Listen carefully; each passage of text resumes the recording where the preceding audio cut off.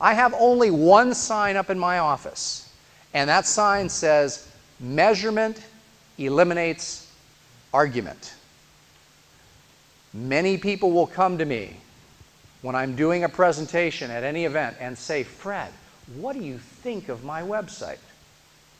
My answer is, I don't really think about anything. I interpret data and numbers so that someone says, Don't you think my website looks good? And I don't know. Does your banker think it looks good? That's really my question. I'm not really concerned about how something looks. I'm concerned about how something performs. Prestige and image are all certainly important, and they are elements of a successful business. But really, what we want is the maximization of revenue in an ethical fashion. That means if we were all here for a weight loss program, what is the first thing we would all do?